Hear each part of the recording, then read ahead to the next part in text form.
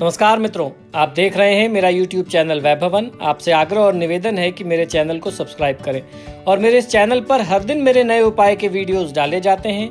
उनके timely update के लिए घंटी के निशान को भी दबाएँ, जिससे कोई भी उपाय या शास्त्रीय जानकारी आपसे छूट ना जाए। धन्यवाद। नमस्कार, मैं हूँ वैभव नाथ शर्मा और आप देख रहे हैं मेरा यूट्यूब चैनल वैभवन।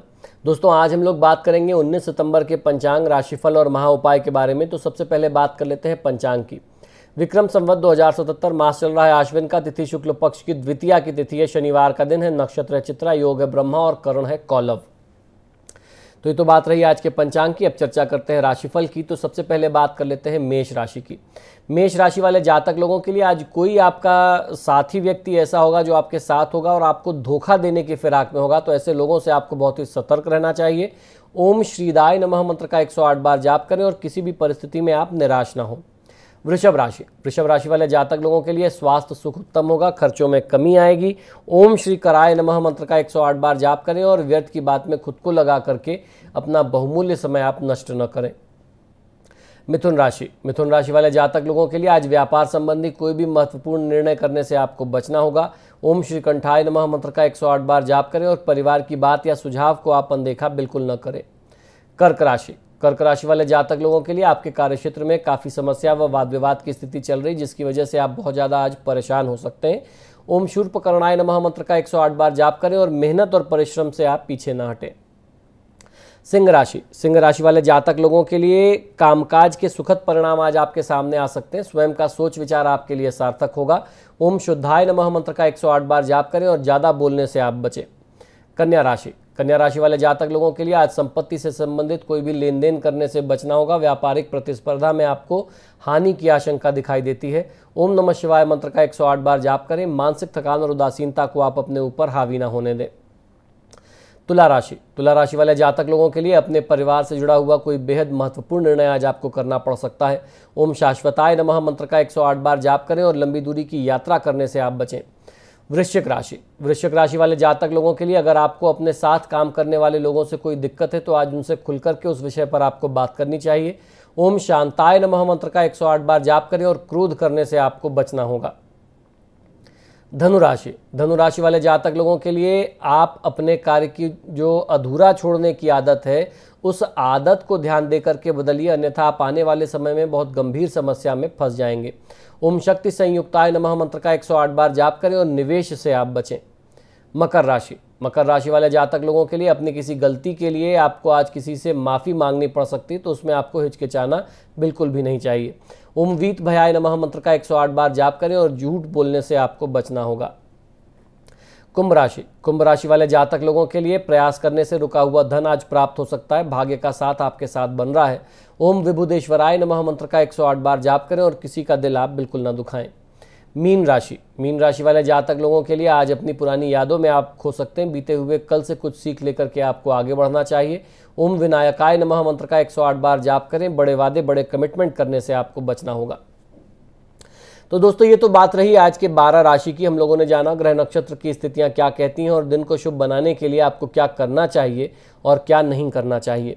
अब हम लोग बात करेंगे आज के महाउपाय की, जिसमें मैं आपको बताने जा रहा हूँ कि अगर आप अपने घर में सुख शांति चाहते हैं तो घर में ऐसी साज सज्जा, ऐसा इंटीरियर ऐसी सजावट करने से आपको बचना होगा। क्या है वो सजावट का तरीका? आइए जान लेते हैं। वास्तुशास्त्र में ज़मीन की बनावट, घर की दिशा और घर में रखी हुई चीज़ों का अध्ययन किया जाता है, उसका आकलन किया जाता है कि उसकी किस प्रकार की ऊर्जा आपको कैसे प्रभावित करेगी। वास्तुशास्त्र के अनुसार घर की ज़मीन, घर की दिशा, मुख्य द्वार और घर में रखी हुई चीज़ें व्यक्ति के जीवन पर बहुत हद तक प्रभाव डालती हैं। इसलिए घर में ऐसी कोई भी चीज़ आपको रखने से बचना चाहिए जिसका प्रभाव नकारात्मक हो। सिर्फ़ ऐसी ही चीज़ रखें जिसका प्रभाव आपके जीवन पर और परिजनों के जीवन पर सकारात्मक पड़ता हो। यानी पॉजिटिव इम्पैक्ट देने वाली चीज़ें रखें निगेटिव इम्पैक्ट देने वाली चीज़ों को घर में रखने से बचना चाहिए।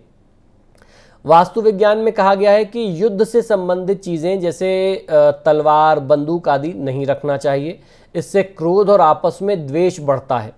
बहुत सारे लोग घर में महाभारत की तस्वीरें लगाते हैं। वास्तु विज्ञान के अनुसार यह भी घर की सुख शांति में बाधक होता है। महाभारत एक पारिवारिक युद्ध था जो परिवार में संघर्ष की भावना को बढ़ाता है, इसलिए महाभारत की तस्वीर को घर में नहीं रखना चाहिए।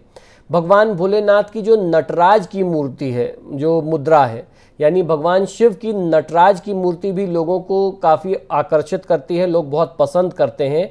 ड्राइंग रूम में इसे लोग बड़े शौक से रखते हैं, खासतौर पर कला से जुड़े हुए लोग इसे श्रद्धापूर्वक घर में रखते हैं, जबकि वास्तुशास्त्र के अनुसार शिव की नटराज मूर्ति विनाश का प्रतीक है, क्योंकि जब शिव क्रोधित होते हैं तो नृत्य करते हैं। शिव के तांडव नृत्य से प्रलय प्रलय मच जाता है इसलिए घर में शिव के नृत्य मुद्रा वाली मूर्ति अथवा तस्वीर को आपको नहीं रखना चाहिए। अठारह पुराण में गरुण पुराण ही एक ऐसा पुराण है जिसमें प्रेत क्रिया से संबंधित मृत्यु के बाद आत्मा की स्थिति और गति का वर्णन प्राप्त होता है। इस पुराण का पाठ किसी भी मृत्यु के पश्चात आत्मा की शांति के लिए किया जाता है अतः इस, इस कारण से इसे घर में नहीं रखा जाना चाहिए। टाइटैनिक के पॉपुलर होने के बाद बहुत से लोग टाइटैनिक जहाज़ की तस्वीर घर में लगाने लगे बड़े बड़े पोर्ट्रेट उसके लगाने लगे। वास्तुशास्त्र के अनुसार डूबती हुई नाव की तस्वीर घर में नहीं रखनी चाहिए, इससे नकारात्मक प्रभाव उत्पन्न होता है। इससे घर के सदस्यों के बीच आपसी तालमेल में भी काफ़ी हद तक कमी आती है। इसी प्रकार से ताजमहल की तस्वीर और शोपीस घर को सजाने के लिए बहुत सारे लोग पसंद करते हैं, जबकि हिंदू मान्यता के अनुसार इसको घर में रखने को वर्जित बताया गया है। हिंदू मान्यता के अनुसार इसको घर में नहीं रखना चाहिए। उसका कारण ये है कि ताजमहल जो है, एक मकबरा है, एक समाधि है, जो मृत्यु की मौत की निशानी है और नकारात्मकता का प्रतीक है। इसे प्रेम का प्रतीक मान करके भी आपको घर में नहीं रखना चाहिए। इससे पति पत्नी के बीच प्रेम बढ़ने के बजाय दूरी बढ़ने का ख्याल बार बार आता है। तो दोस्तों, आशा करता हूँ कि शास्त्र से जुड़ी हुई जानकारियाँ, ज्ञान की बातें जो आपको मेरे यूट्यूब चैनल से प्राप्त होती हैं, वह निश्चित ही पसंद आती होंगी। आप सभी से बार बार आग्रह है कि जब भी आप मेरे वीडियोस देखते हैं तो इनको लाइक और शेयर ज़रूर करें। और आपने अगर अभी तक मेरे चैनल को सब्सक्राइब नहीं किया तो प्लीज़ इसे सब्सक्राइब करिए। इसी शुभकामना के साथ कि आपका दिन शुभ हो। मुझे आज्ञा दीजिए और देखते रहिए मेरा यूट्यूब चैनल वैभवन नमो नारायण सब्सक्राइब करें मेरे YouTube चैनल को, साथ में बेल आइकॉन भी दबाएँ, जिससे मेरे चैनल पर हर दिन अपलोड होने वाले मेरे चमत्कारी उपायों के वीडियोस की जानकारी आपको सबसे पहले मिल जाए। धन्यवाद। तो यदि आप अपनी किसी भी व्यक्तिगत समस्या के लिए मुझसे परामर्श और समाधान चाहते हैं, यानी आप अपनी किसी भी पर्सनल प्रॉब्लम के लिए मुझसे कंसल्टेशन और रेमेडीज चाहते हैं तो उसके दो तरीके हैं। टेलीफोनिक कंसल्टेशन फ़ोन पे बात करना और दूसरा फेस टू फेस यानी पर्सनल मीटिंग के करना। आप हमें फ़ोन के माध्यम से ईमेल और व्हाट्सएप के माध्यम से अपॉइंटमेंट बुक कर सकते हैं। हमारा नंबर है triple nine zero seven two four one three one आपको दो नंबर दे रहा हूँ। इन दोनों नंबर पे व्हाट्सएप अवेलेबल है। आप व्हाट्सएप करें। Nine eight one eight three double zero one four six. ये हमारे ऑफ़िस का दूसरा नंबर है। अगर आप हमें ईमेल करना चाहते हैं तो आप हमें ईमेल कर सकते हैं। हमारी ईमेल आईडी नोट कर लीजिए। S H A R M A dot Vaibhava. V A I B H A V at the rate Gmail dot com पर। इस पर आप हमें ईमेल भी कर सकते हैं। मित्रों, आजकल फ़ोन कॉल्स बहुत ज़्यादा हैं और मुझे भी मालूम है आप लोग कॉल करते हैं फ़ोन रिसीव नहीं होता तो आप भी निराश होते हैं। ऐसे में ईमेल और व्हाट्सअप करना सबसे बेहतर तरीका है। धन्यवाद।